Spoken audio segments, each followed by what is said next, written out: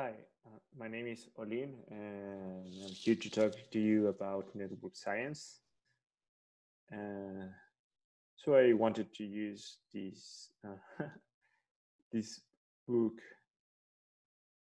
from Murakami, which is what I talk about when I talk about running. But what I really want to talk to you about is, as I said, network science. And I'm using this picture to motivate the talk, like using a network here.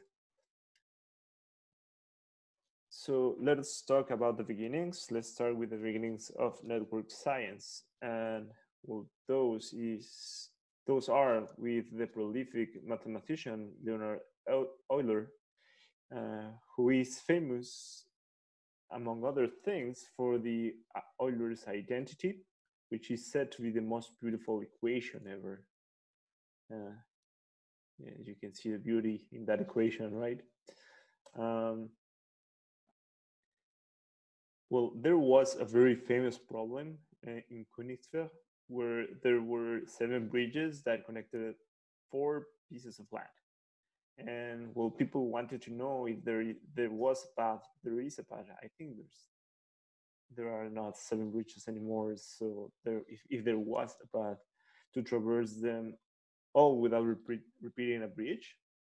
Um, so what Euler did was formulated this problem as a graph diagram and prove that there there's no way to do it. There's no way to traverse each bridge once uh, without repeating any of them. Um, so this was how Euler invented the graph theory. Uh, okay, but like, what is graph theory? Like, what what what are those graphs? And maybe we should start but by saying what what is it? What is a graph? And th this is a mathematical object composed by two parts. Uh, well, some people say that it's three parts because they count their mathematical mathematical representation. But for now, let's stick with two two of those parts, like for now, or maybe for good. Um, these parts are G-sets, uh, which is a set of a set of nodes and a set of vertices. Uh, and those latter ones can be thought of as entities. The first one can be thought of as entities, those nodes, and the edges or links which connect them can can can be thought of as a relationship that connects those entities, right? And both to get both together they form a graph. So this is the basic description of what is a graph. But I started this talk by saying that we were going to talk about network science, and I started working, yeah, talking about graph theory. So this is a, a, main question. Like, maybe it doesn't have an answer yet, but like, is graph theory the same as network science? Um, well, a lot of people say it is. Like, it is the same thing, uh, but in words of Barabási, uh, network science is defined uh, not only by its subject matter, but also by its methodology. And then it is, it is composed by four pillars of its nature. And those are interdisciplinary, they, they're interdisciplinary nature, the empirical, which is a, like, it has a data-driven nature, uh, a quantitative and mathematical nature, and a computational nature. So network science, science is composed by all these four natures of it. Uh, okay, so what do we mean by interdisciplinary nature? Uh, well, the aim is to have a common language, a common set of tools and methodology that goes beyond a single discipline. Um, and then network science is used in several fields as like a, as as a tool uh, for several fields such as genomic networks. There's a lot of uh, work being done in that regard, um, where researchers usually get uh, co-expression networks of, of genes, and they look at the co-expression of them, and they see how the, they be, behave differently in different settings and analyze their characteristics and in each of them. Um, then we have social networks, we, which doesn't necessarily have to be online social networks, but this is a pretty picture that I wanted to show because it just is.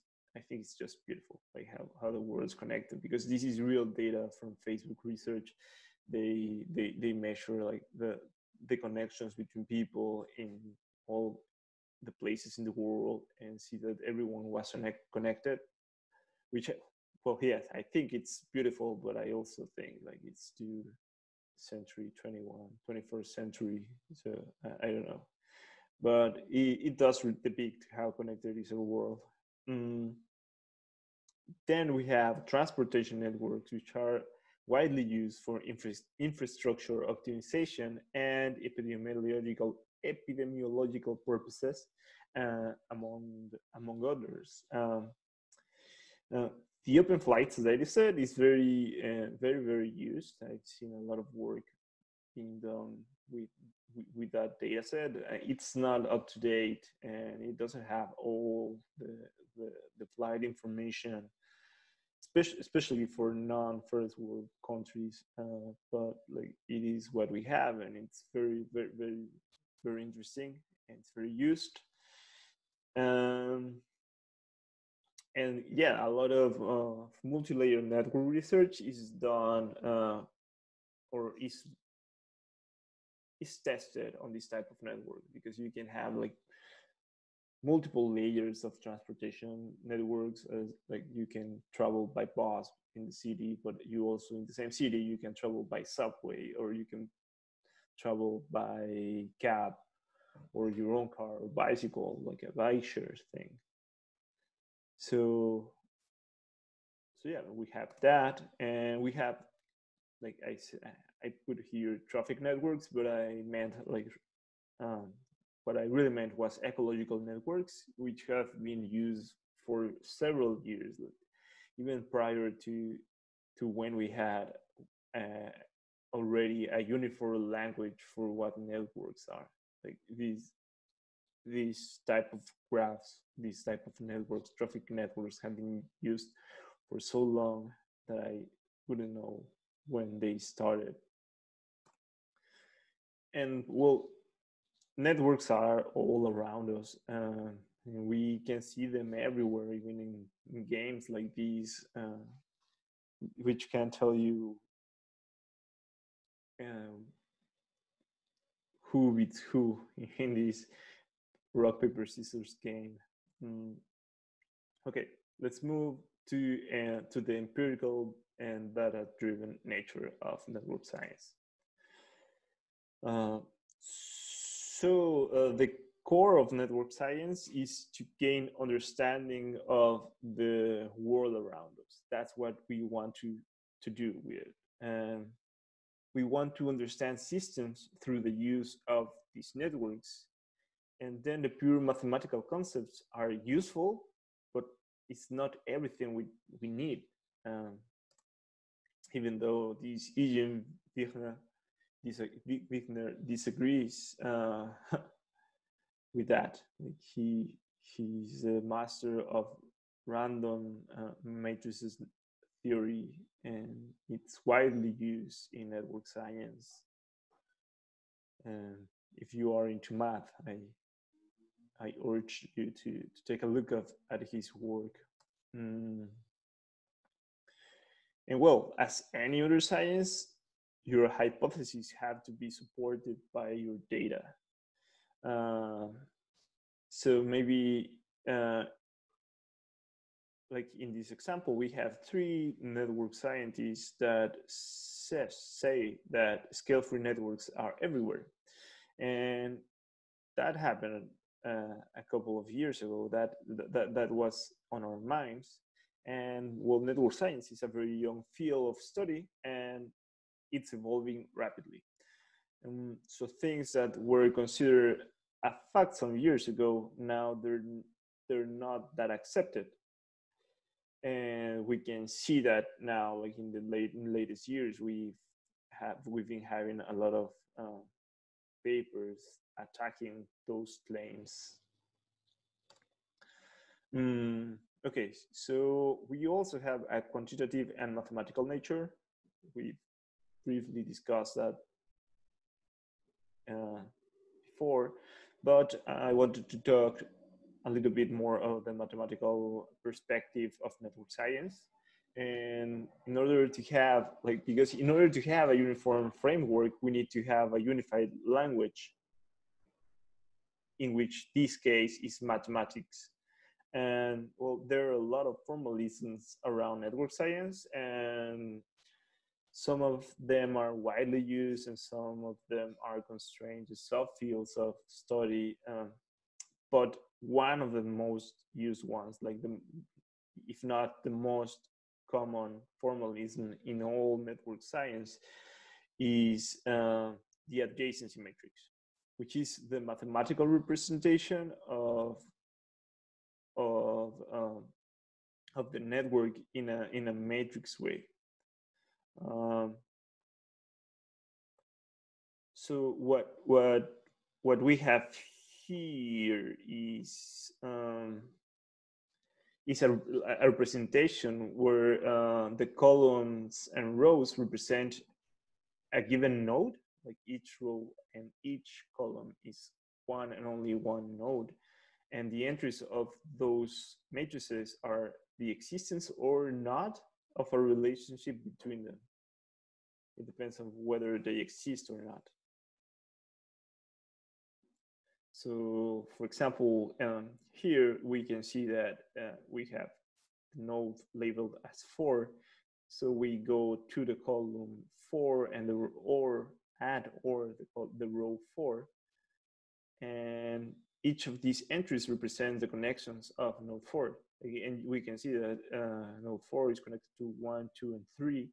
So all of those entries, like um, one, four, two, four, three, four, and for for one, for two, for three, they're all ones, but like all of the other ones are not ones because we don't have any more connections in this network.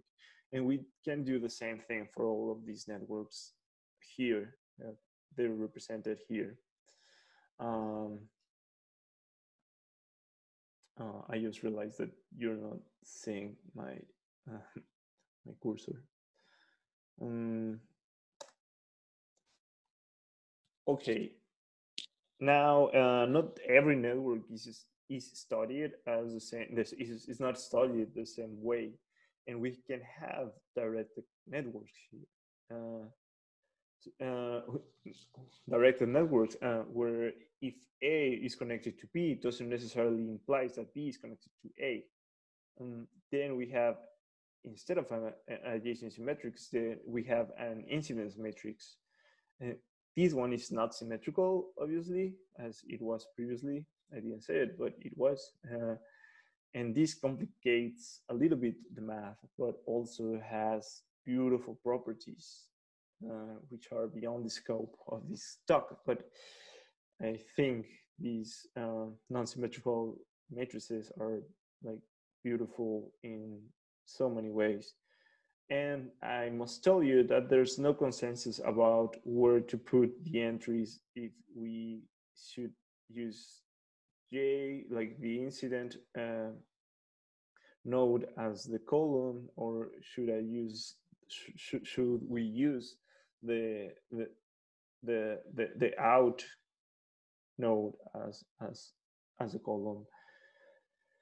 But uh, yeah, you can there's several books and each one of them uses whatever they please so you should only be uh, conscious of this thing in order to be like have this have the same notation in an, at least your your your work uh, around your work mm.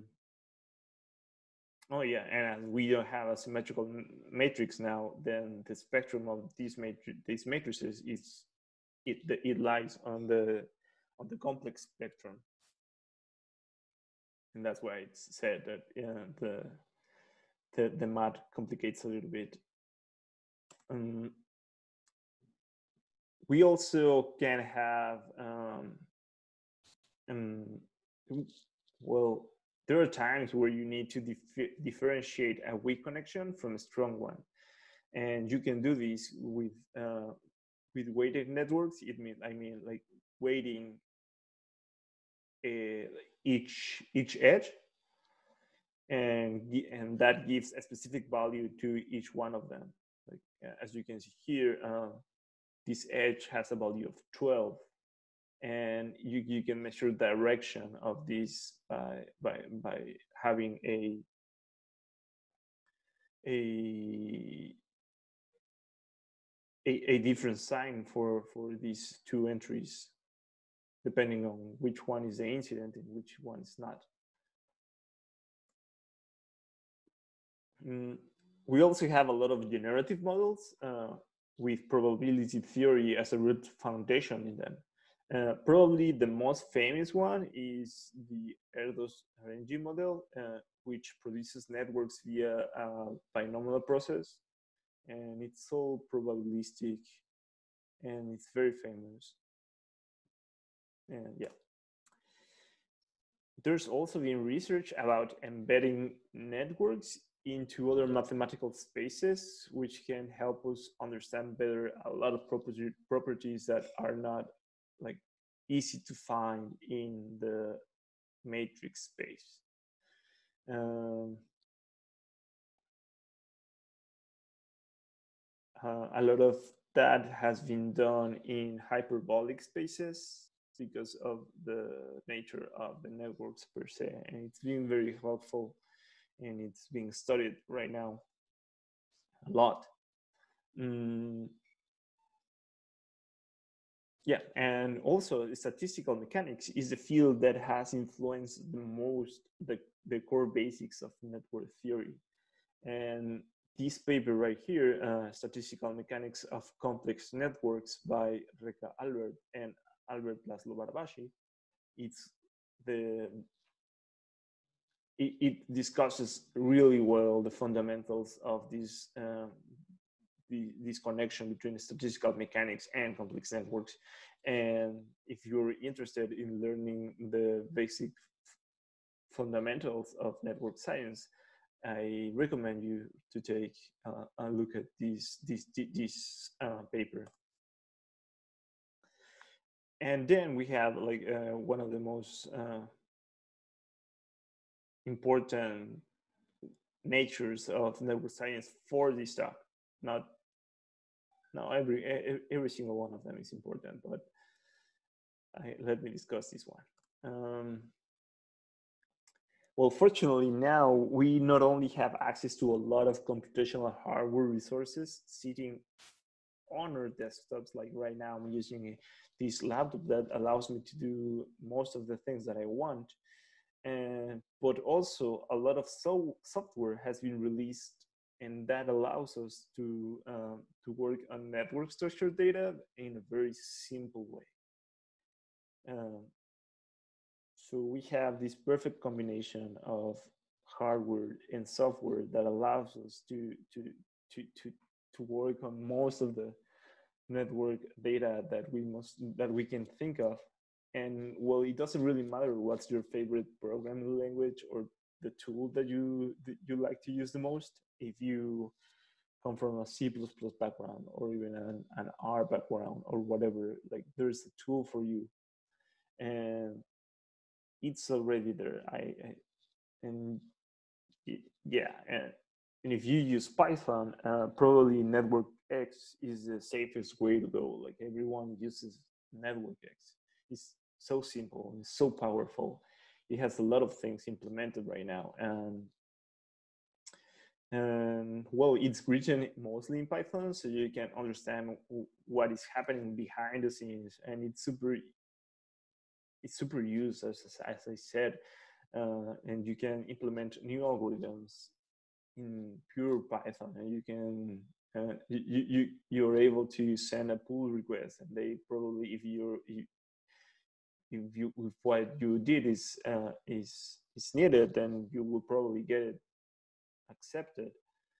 Uh, but the problem is that it, it's the same. That the problem is the same thing. The, the same thing as the the the the, advantage, which is is greater in Python, which means that it's very very slow and heavy. But we also have in Python other tools such as iGraph and GraphTool.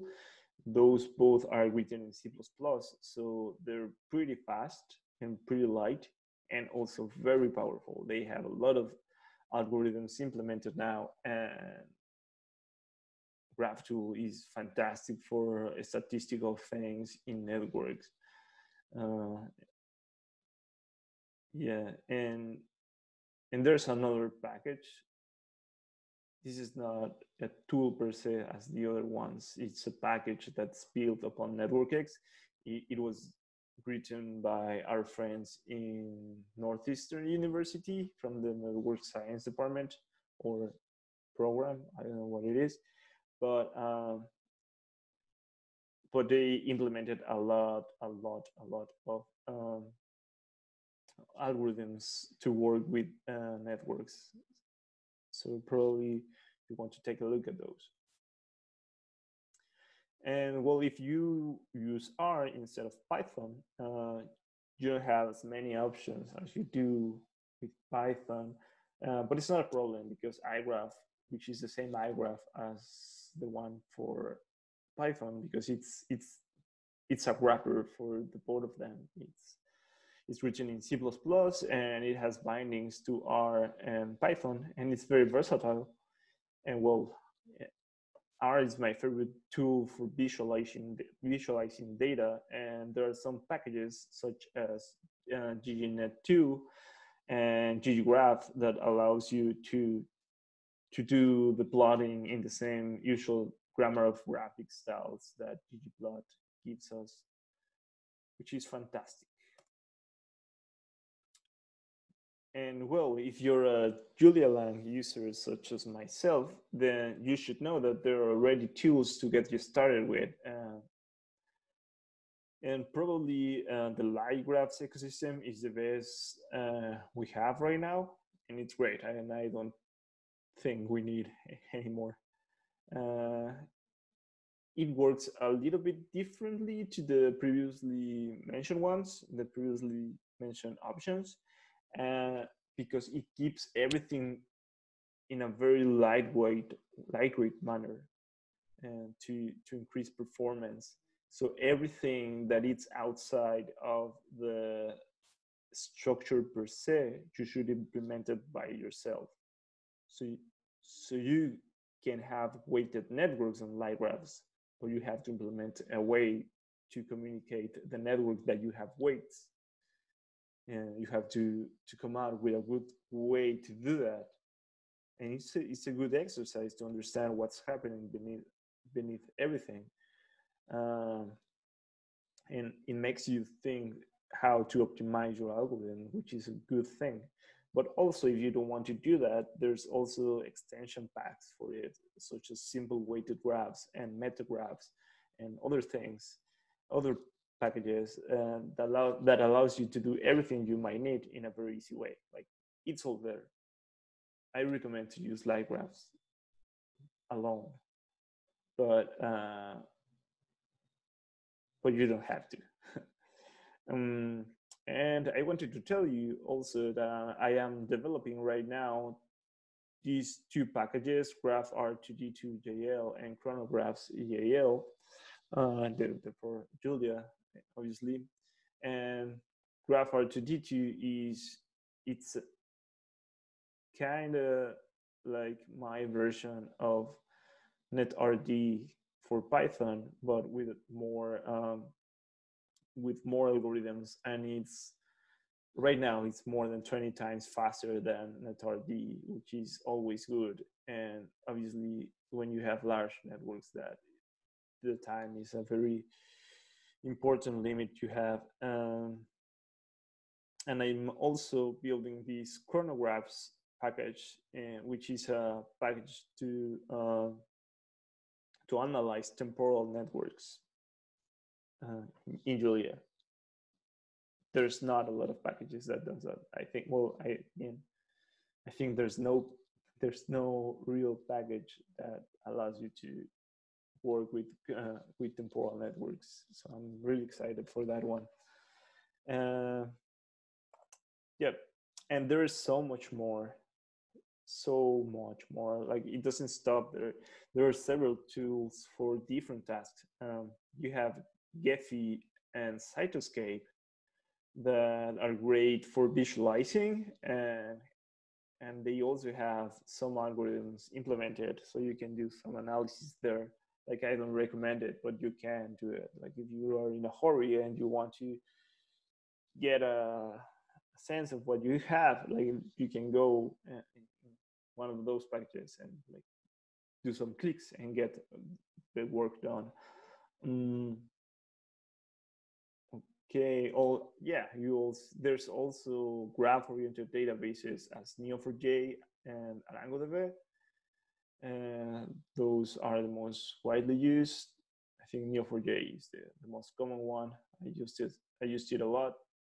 I use it a lot. And also there, if you if you like the AWS ecosystems, there's Amazon Neptune, so you can have these in a these graph-oriented databases in a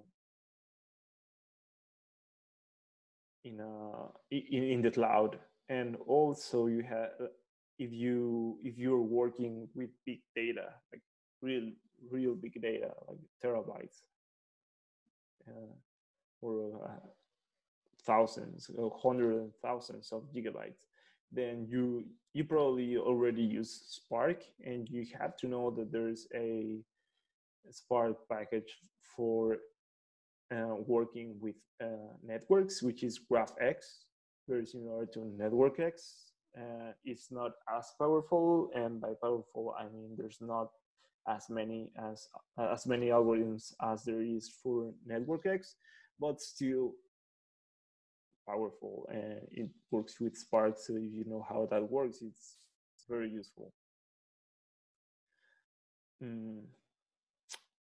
Okay, a little bit of the basics of network science, and I'm taking a little bit, longer than I thought. Um, let's let's talk about not node degree, uh, which is the most basic measure, uh, and it counts how many edges are attached are attached to a node. Mm. But if you have direct networks, then there's more than one way to count them. So for example, here we have a node degree of three because we have three edges in this node, uh, but we have an in degree of two because we, we have two incident uh, edges in this uh, to this node and one and, out, and an out degree of one because we are we have an exiting edge only one exiting edge from this node. Um, a very important property is the degree distribution and it can help you characterize and under, understand the underlying attaching methods or the process that generated your network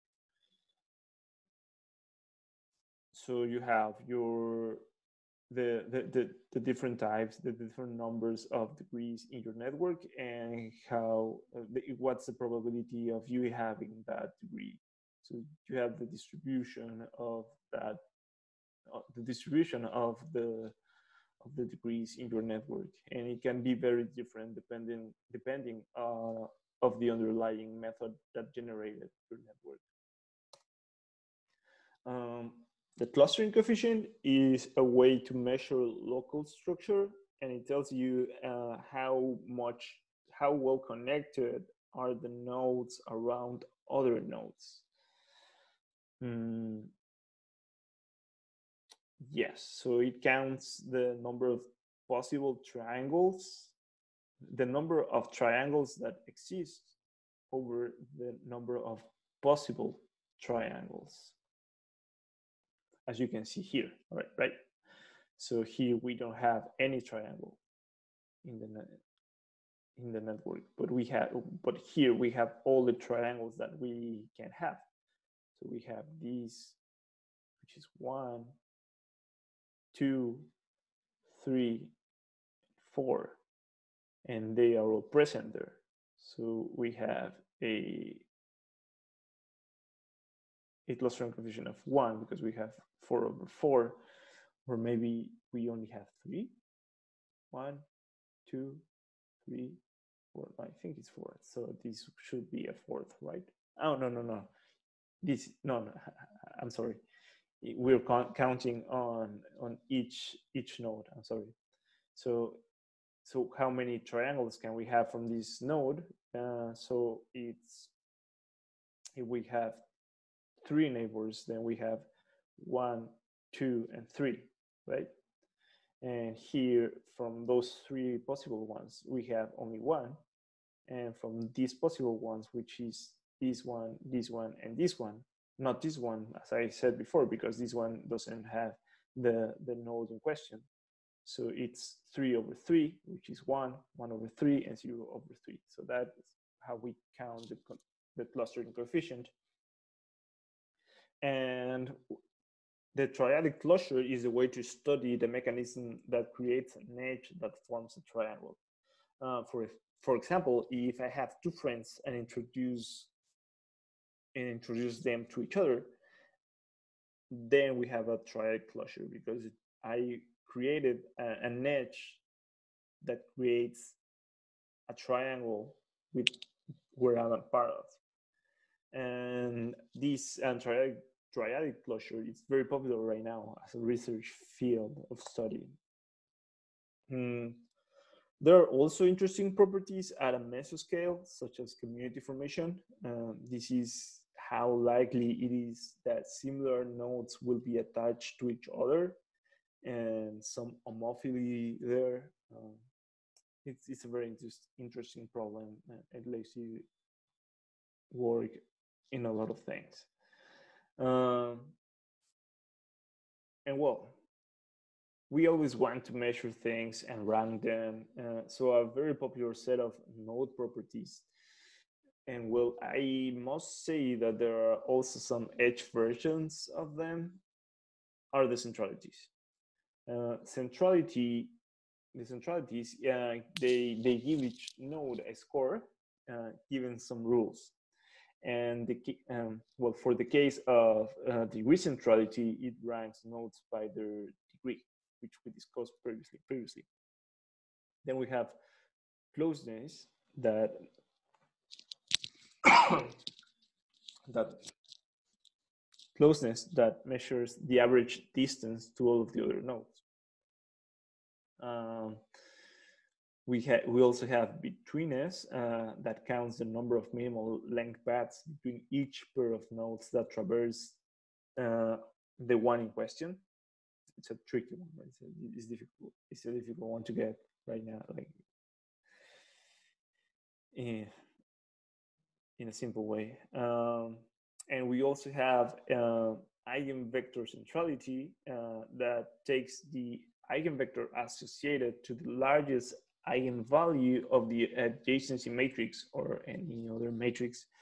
Um, well, and it could be the not only the, the largest, but you can have the smallest or the second smallest. And it all depends on the version you used and the matrix you use. Like if you don't use the adjacency matrix, but other associated matrices to the to the network, then you should probably choose a different um, eigen eigenvalue. Um, and there's also a couple of new ones, such as collective influence, that counts the number of nodes you can reach at a certain distance. So how many neighbors does your neighbors have? And well, let me talk to you about a list of some a list of some projects I've done using network science so you can have an idea of what can be done in this regard. Um, um, okay. So uh, you you can combine network science with NLP in some ways, as I did in this project, and in in which I used uh, this named entity recognition, which is, which is to subtract uh, people from from text data. And now that I like, then after you have all the people in your data set, which is a book of or multiple books, then you can look at the co-occurrences of, of, of people inside a certain passage of the book and count them and build a network based on those co-occurrences.